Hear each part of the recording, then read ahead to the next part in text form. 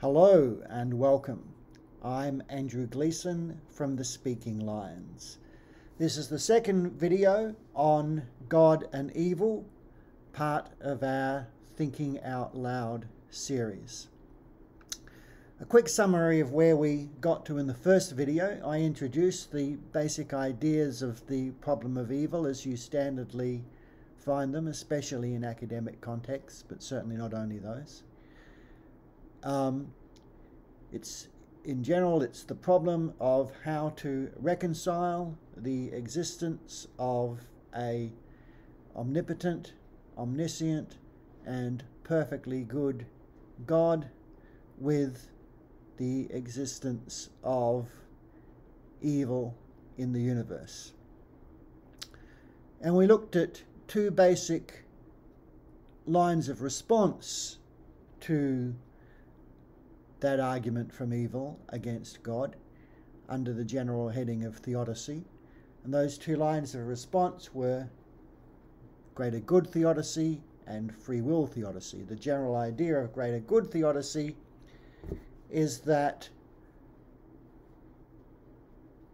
there are certain goods which make the world a better place than it would be without them. Goods such as compassion, um, charity, uh, courage, fortitude, and so on. And however, a necessary, a logically necessary condition of those goods is the existence of certain types of evils, suffering, for example. Forgiveness might be another good that makes the world a better place, but a necessary condition of forgiveness and reconciliation, okay, is wrongdoing on someone's part, wrongdoing of one person towards another person, so that the second person can forgive the first. And so on through many examples. The idea is that you can't have those goods without those evils. It's not logically possible to have those goods without those evils. And yet, a universe that has both those goods and those evils together, okay, is a better place than a world which had neither. That at least is the basic thought. The goods are greater goods. They are goods which outweigh the evils, which are unfortunately the inevitable and unavoidable cost of them. That's greater good theodicy. Free will theodicy was just the basic idea that Evil in the world is due to the free choices of human agents and perhaps the agency of other created beings. I said in the first video that typically, for the most part, in discussions of theodicy, appeals to free will actually take the form of, or actually should be included under the general heading of greater good theodicy. That is the appeals to free in most in most of the appeals to free will. The free will appears uh, as one of the greater goods of greater good theodicy. That is, one of the great goods of the world is that human beings have free agency, that can make free choices, that we can choose between good and evil. It's part of the dignity or or importance of being human that we have kind of these moral choices that animals, other creatures do not have, beasts do not have. And that makes human life especially significant. It also makes possible loving relationships between God and man, which must be entered into freely. It's not the sort of thing that can be compelled. Given that that is so, free will is a tremendous greater good, one of the most important and valuable of all the greater goods, probably the crown of greater goods. Uh, so, on that kind of appeal to free will, free will, the free will response to the pro- to the problem of evil is just a version of the greater goods response. Now, I think there is a form of appeal to free will which is which is distinct and different from the greater good response. Okay, it's the response which just basically says, we're to blame, okay, stop blaming God. No mention of greater goods in that, okay, so far at least, anyway. It looks like it's a different kind of argument, a different kind of response. I'm not going to deal with that one here. In this video, I'm going to be concerned exclusively with the greater good theodicy. And I'm going to argue that it's a profound failure. The, uh, the case against theodicy is greater good theodicy is so basic, so fundamental that it's often referred to quite straightforwardly as anti theodicy, a hostility to the very idea of theodicy. And that's what I'm going to present today. This line of thought is not original to me. Uh, you can find it in the work of many other important philosophers, including D.Z. Phillips, uh, um, Rowan Williams, and my fellow Australian Nick Trakakis, among others. Okay.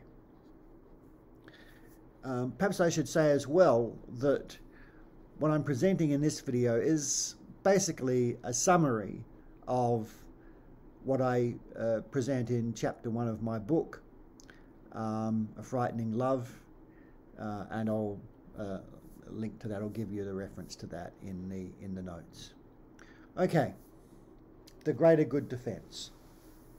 Greater good defense or theodicy. I'm not going to bother with the theodicy defense distinction here. I'm just going to talk about. It. I tend to use the words defense and theodicy interchangeable.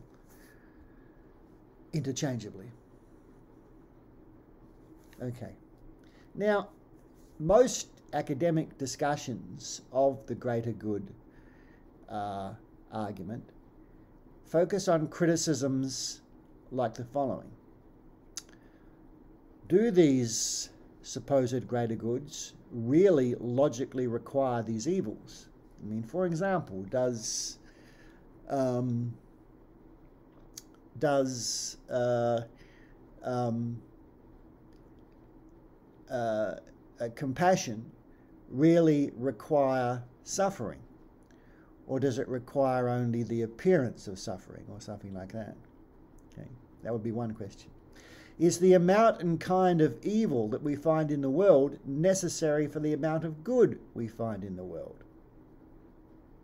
Is there a good for each evil or for most serious evils? Or are there some evils that are, as it were, unredeemed or pointless? I should mention here that not all versions of theodicy uh, greater good theodicy require there to be a good for each evil individually, just that there should be overall enough good to compensate for, for the evil. But that you know, detail need not concern us here. Are there higher order evils that don't have overbalancing goods? For example, if somebody is unrepentant or um, unappeased by someone else's forgiveness and continue in their malice or malevolence? Is there some overbalancing good that that creates? Or that that is a condition of? And if we see apparently pointless evil in the world, that is, evil without greater goods, is it reasonable to draw the conclusion that probably God does not exist? That probably God does not exist, okay, given our ignorance of the world. How do we know, being the limited beings that we are, certainly in comparison to God? How can we be sure that there isn't some greater good out there that this evil is doing? Do we see enough of the picture to rule out this possibility?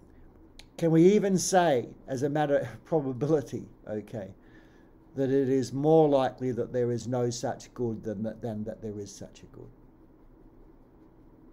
It's not clear that we can.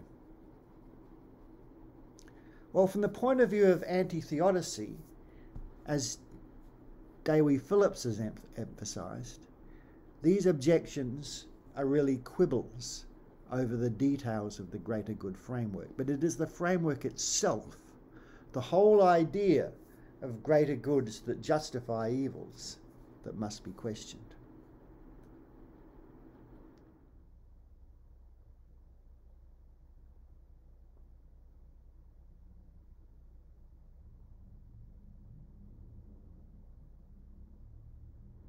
The central objection of anti theodicy is a moral objection. Most of those uh, issues that I listed a moment ago uh, raise factual and epistemic questions about what is the case, about what we know to be the case, what we're justified in inferring, and so forth. But the real problem is not factual or epistemic, the real problem is moral. And the central objection is that the ends do not justify the means. Even if it's true that all these greater goods exist, even if it's true that the evils are a logically necessary condition for them, grant all of that, okay? Allow the, the theist, the defender of God, or the theodicist, okay, to, ha- to have grant him everything that he wants to claim about the existence of these greater goods. It's not going to matter to the moral objection. To the moral objection is the lemon ain't worth the squeeze here. Who among us is to tell the parent of a drowned child that this was a price worth paying for the rest of us to develop and exercise our virtues, or even to enjoy free will and a loving relationship with God? In the before the burning children, will not these words ring hollow? Well, having an example before us may help to sober our minds. The one I'm going to quote here, which I used again in my book, is a famous one from fiction but we should remember that it describes something which is common enough in the real world. This is Ivan Karamazov talking to his brother Alyosha from Dostoevsky's The Brothers Karamazov. And Ivan is putting to Alyosha, they're having a discussion about the problem of evil and Ivan puts this case to his brother. This poor child of five was subjected to every possible torture by those cultivated parents. They beat her, thrashed her, kicked her for no reason till her body was one bruise. Then they went to greater refinements of cruelty. Shut her up all night in the cold and frost in a privy, and because she didn't ask to be taken up at night, as though a child of five, sleeping in an angelic sound sleep, could be trained to wake and ask. They smeared her face and filled her mouth with excrement, and it was her mother, her mother did this, and that mother could sleep, hearing the poor child's groans. And Ivan goes on. Can you understand why a little creature who can't even understand what's done to her should beat her little aching heart with her tiny fist in the dark, and in the dark and the cold, and weep her meek, unresentful tears to dear, kind God to protect her? Do you understand that, friend and brother, you pious and humble novice? Do you understand why this infamy must be and is permitted?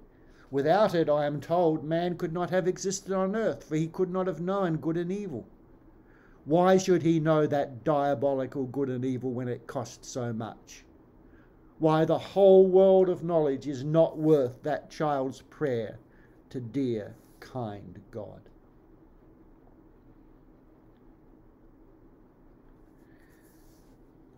Well, what is implicit here in what Ivan is saying is what we might call Karamazov's challenge. Is it morally decent? Is it humane, compassionate? Is it consistent with goodness, let alone love? That this child suffer in this way in order to promote a more general good, or even eventually her own good? Well, theodicists seem to think so. Indeed, they must say so. And they do. Now,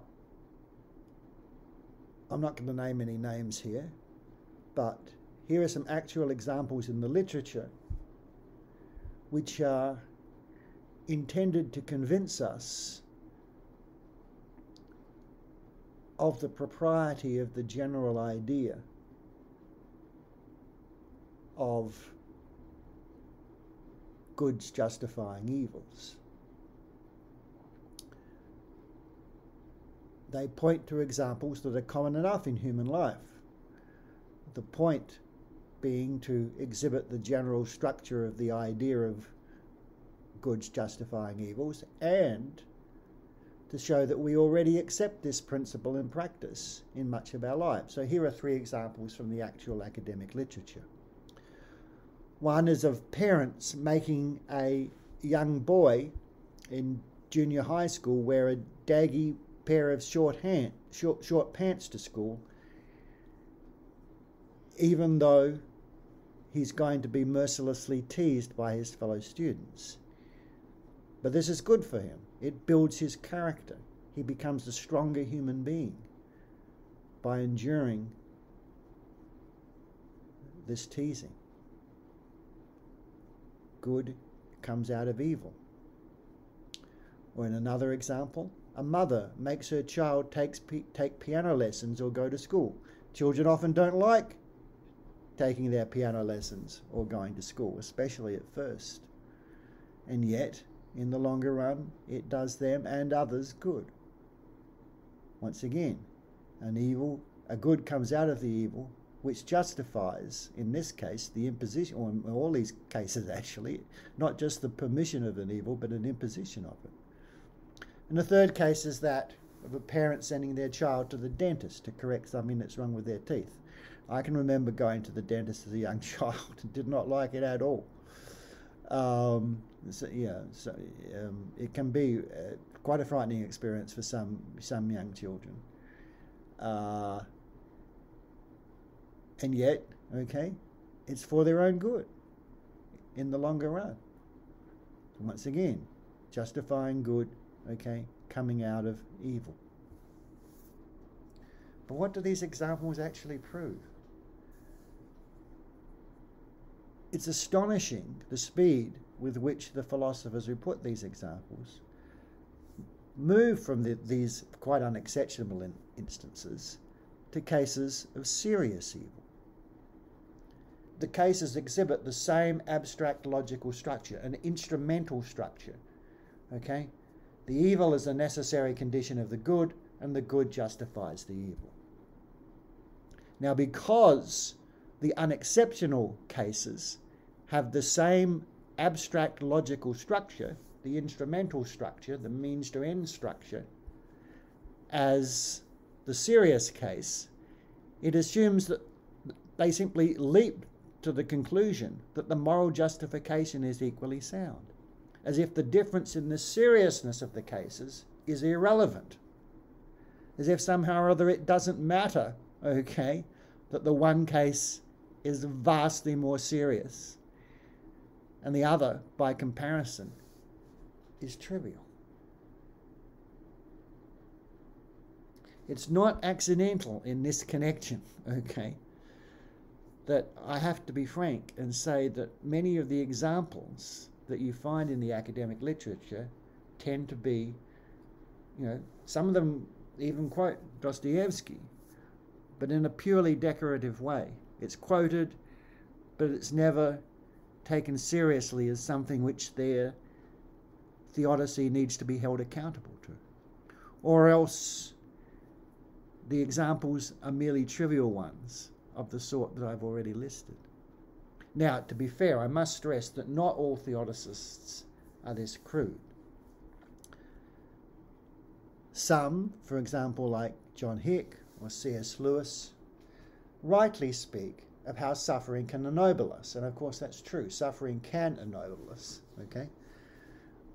Um, and more importantly, how it can bring us to acknowledge our dependence on God and bring us into closer relationship with Him, can lead us into holiness.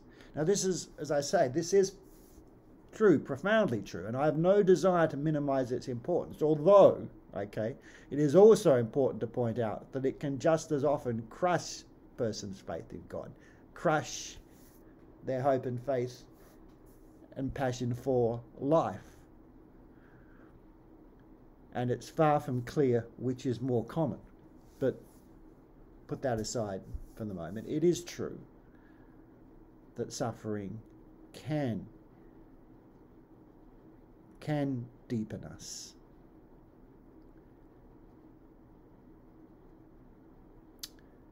As I say, I have no desire to minimize the importance of that. In fact, quite the opposite. Partly precisely because this idea is true and important. Precisely because this idea is true and important, I object to its vulgarization by turning it into a justification of imposing or permitting the evils. This makes God out to be a kind of a tyrant, a lord who tortures his vassals to wring submission out of them. Now, this point has been made uh, very forcibly online by Alex O'Connor, more commonly known perhaps as Cosmic Skeptic. And let's look at this. Let's look at how he makes the point here. Is this not just the most mobster esque observation you've ever heard? Hey, nice life you've got there. Comfortable job, loving family. It'd be a shame if I took it all away with a debilitating virus, just in case you forgot that I'm supposed to be the source of your happiness, not them. Dr. Bannister is suggesting that by allowing COVID to wipe out those earthly things in which we find happiness and meaning, we're reminded that all along we should have been placing our trust and our happiness in God instead, and not these destructible earthly things. That is, God is willing to wipe out those things that bring us happiness and meaning, even going so far as to kill our friends and our family, or forcing them to undergo grief and hardship, just to remind us who's really in charge. It's as if God is saying, just in case you forget that I'm the one who deserves your attention and your worship, let me mercilessly kill and destroy those things that you love just to remind you that you should have been focusing on me all along. Your happiness comes from me, okay? I don't even think about trying to get it from somewhere else. Well, uh, harsh words, you might say, but I think they're hard to avoid. Theodicy seems to have to paint God as the godfather of a cosmic protection racket, trying to extort tribute from people rather than solicit it by love.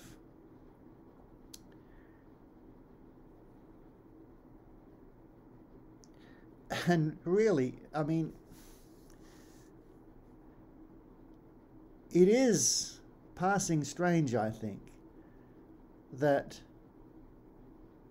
people think the greater good story is making things better for God. On the face of it, surely it makes them far worse for Him. It implicates God directly in all the evils of the universe. Okay, you know, I mean, He did it, it's His fault. It's all part of his master plan for the universe. Imagine, you know, how appreciative of God is God going to be for this? Well, thanks, guys. Thanks a lot down there. Okay, just dump me in it.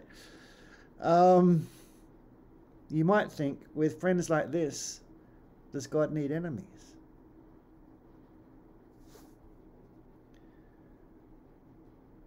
Well, it's important to see that the problem can't be solved or gotten around by simply ramping up the quantity and the quality of goods, especially, you know, by appeal to the afterlife, which provides you with an infinite, okay, uh, uh, capacity for that ramping up.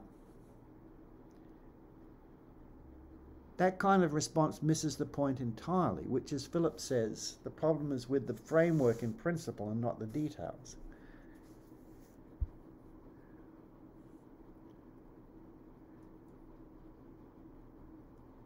The anti theodicist does not challenge whether or not the greater goods are forthcoming in this life or the next.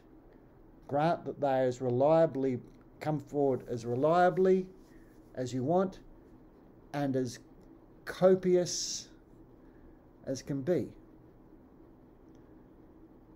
This is of no help. They do not justify doing what was done to the child in Dostoevsky's example or allowing it to be done. And indeed, we might ask, it might, it might um, concentrate the mind to ask just what couldn't this way of thinking justify? Doesn't it issue a blank check? I mean, it, it already must justify, if it works, it's justifying all, either imposing or permitting, all the most horrendous things we see in this world. And if you can justify them, really, I mean, if you don't scruple at using theodicy to justify them, what are you going to scruple at justifying? What will you have scruples about? Where will you draw the line?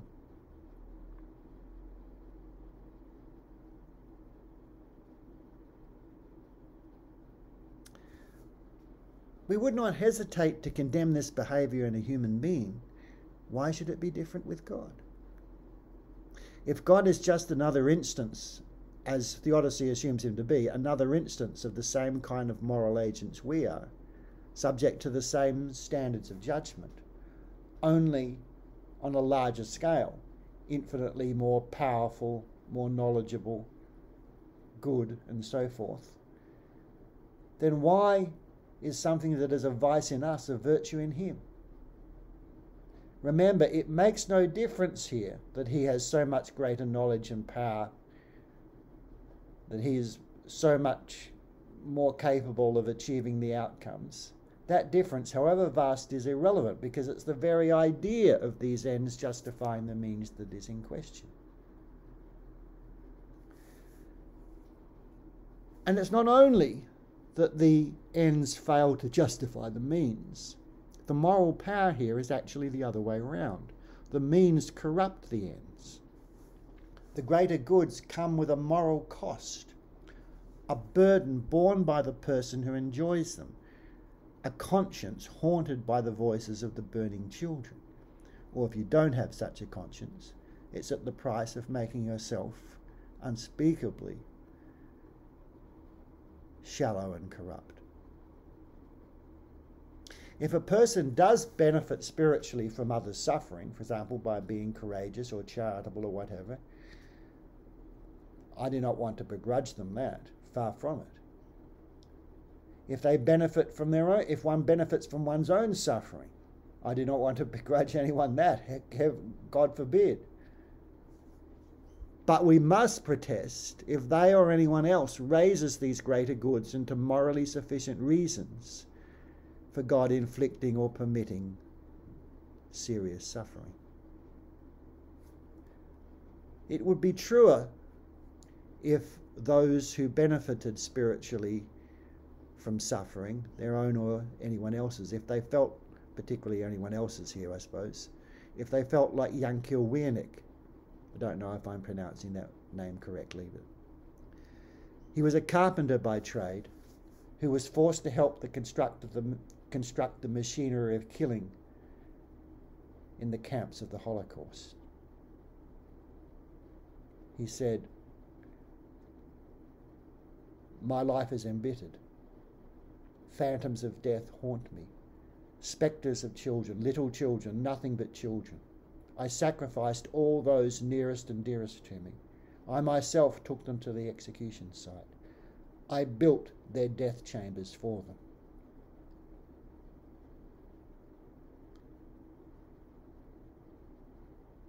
I don't know if he ever benefited spiritually from, from his experience, but if he did, it could only make this sentiment more astringent. What I'm suggesting here is that this, sent- this sentiment is appropriate, okay? To be haunted by the burning children is appropriate not only for Wiernik, who did evil himself, but is also appropriate to any of us who benefited from that evil. a further point about ramping up the greater goods. This typically involves postulating post mortem compensation for the victims of evil, which precisely because it is post mortem, and precisely because life after death is typically thought of as something going on infinitely. And there's no limit to the size and scope of the the goods that can be the, that can be bestowed. But once again, this kind of appeal makes things worse, not better. It really does treat the seems to me, I have to say, it really does seem to treat the lives of the tree, the children as tradable commodities, on sale to that theodicy or that world, able to bid the most good for them. By contrast, Ivan Karamazov is in effect insisting that the lives of children are not for sale. No amount or kind of greater goods justifies creating a world where children suffer as they do in this one. And one might add that the same goes for adults as well. As Ivan says, listen, if all must suffer to pay for the eternal harmony, what have children to do with it? Tell me, please, it's beyond all comprehension why they should suffer and why they should pay for the harmony. I renounce the higher harmony altogether. It's not worth the tears of that one tortured child who beat itself on the breast with its little fist and prayed in its stinking outhouse with its unexpiated tears to dear kind God. It's not worth it because those tears are unatoned for. They must be atoned for or there can be no harmony. But how? How are you going to atone for them? Is it possible by their being avenged? But what do I care for avenging them? What do I care for a hell for oppressors? What good can hell do, since those children have already been tortured? I want to forgive. I want to embrace. I don't want more suffering. And if the sufferings of children go to swell the sum of sufferings which was necessary to pay for truth, then I protest that the truth is not worth such a price.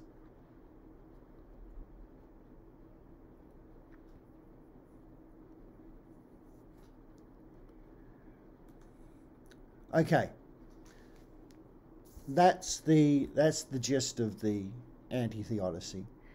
Let me finish on a few clarifications to try and, and anticipate and scotch any misunderstandings.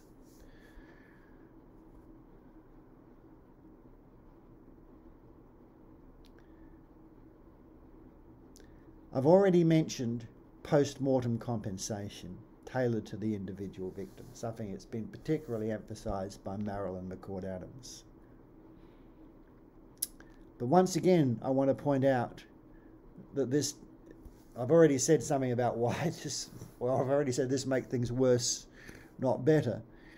I should also add here that the idea is essentially wrong headed. I'm not justified in torturing a child today or allowing that child to be tortured because next week I plan to compensate them, or because next week I will compensate them. And indeed, on the face, I mean, that should be self-evident, I think. And indeed, this would have to be comp- this would have to be compensation not just for injury, but for wrongdoing, for injustice. But if it's compensation for wrongdoing and injustice, then you weren't being perfectly good when you did it and you can't be God as defined. Okay, the next clarification.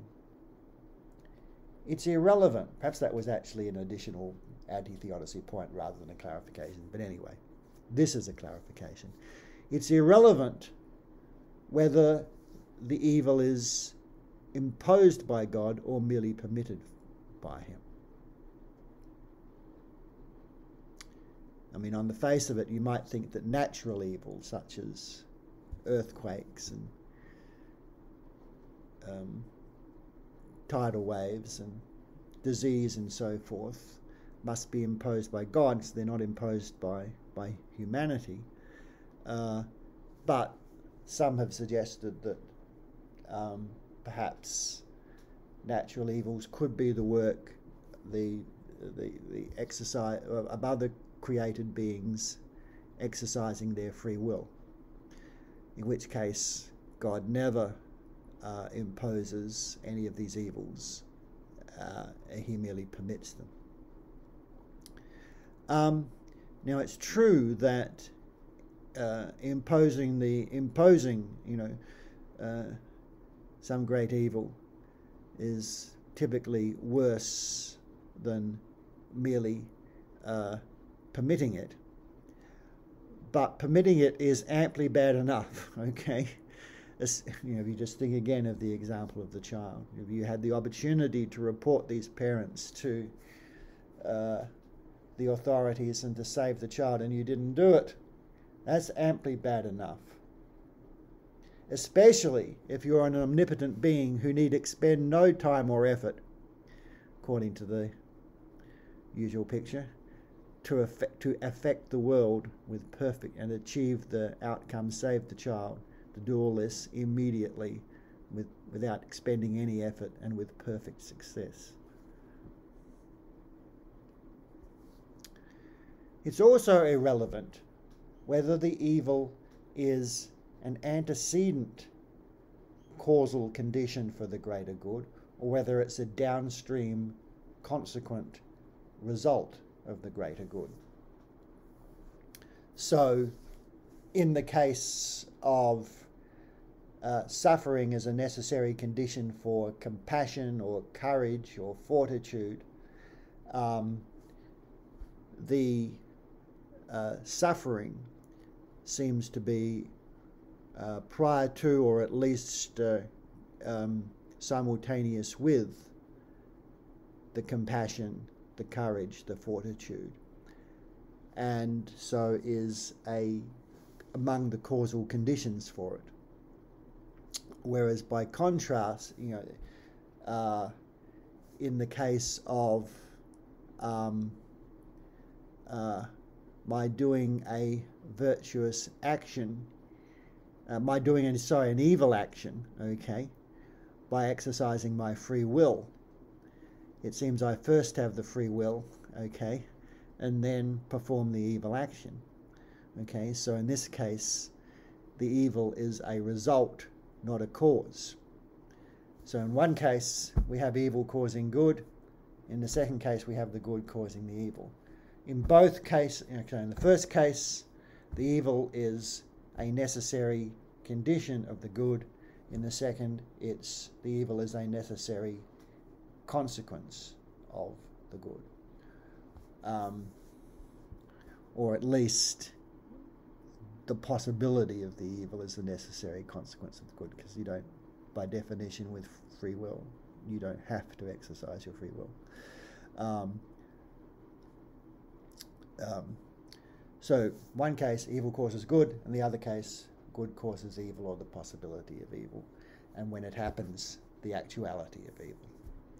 Uh, it doesn't matter, okay?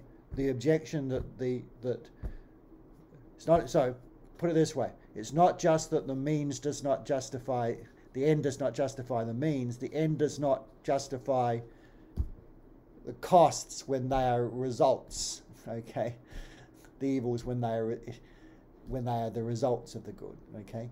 The goods the goods uh, no more uh, are no more justifying when the evil is merely a result of them than when the evil is a necessary condition of them.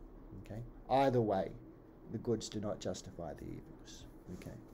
I only raise this because some people, uh, uh, was someone once picked me up on it, and it seems to me to simply be irrelevant. Okay. Uh, next clarification. Don't confuse securing a greater good with avoiding a greater evil. It is one thing to uh, lie to someone in order to uh, benefit someone else who's, uh, you know, really already in an okay position versus lying to uh, to the secret police about the whereabouts of the innocent fugitive that they're trying to hunt down and kill. Okay, so there's a difference between trying to improve a situation that's, you know, already not too bad, okay, versus trying to avoid a catastrophe or a disaster.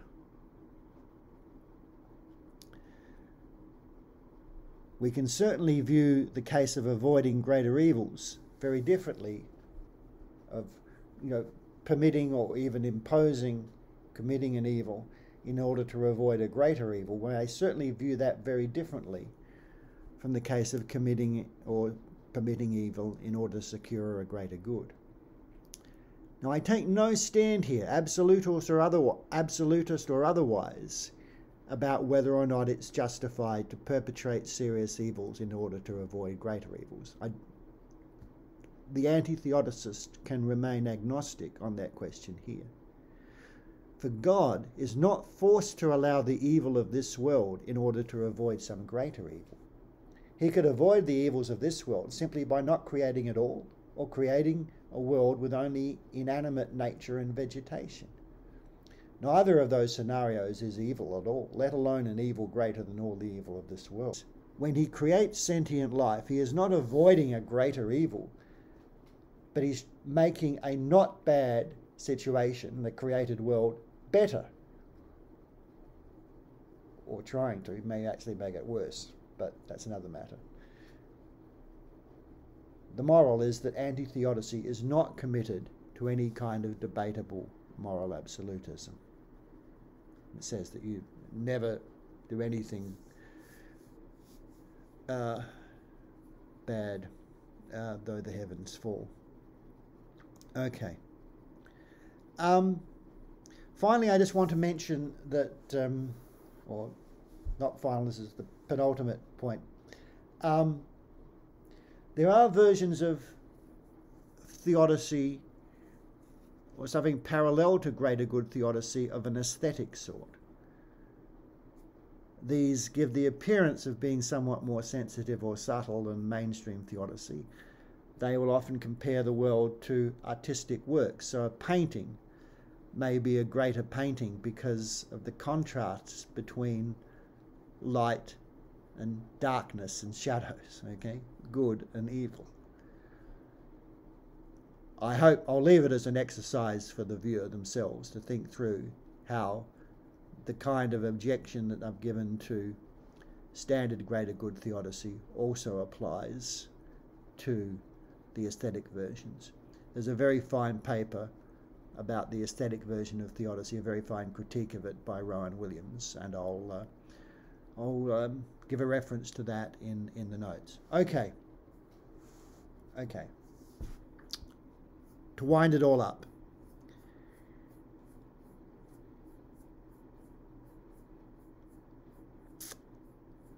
This looks like it might be the end of the road for God. Well, um, okay, uh, but anti theodicy does not necessarily equal anti God. First of all, there is, as I mentioned at the start and in the first version uh, and in the first video, there is a form of uh, the appeal to free will, which is not a version of greater good thinking. It's not that kind. And I'll need to deal uh, deal with that in a separate video at some stage. But let's put that aside again for the moment. Supposing that greater good theodicy was the only serious contender here, If this objection to greater good theology is as powerful as I believe it to be, then does it not vindicate a logical version of the problem of evil? Where is there for God to go? How can he escape? If there's any evil, certainly any serious evil in the universe at all, and there is, okay, then doesn't this objection that the end does not justify the means, does not justify, okay, making things better, okay, as, a, as opposed to avoiding a greater evil. Does not this basically vindicate a logical, the logical form of the problem of evil? Is this not the end of the road for God? Well, no, not necessarily. In fact, it might be the beginning of a deeper understanding of God and of good and of evil maybe we need to question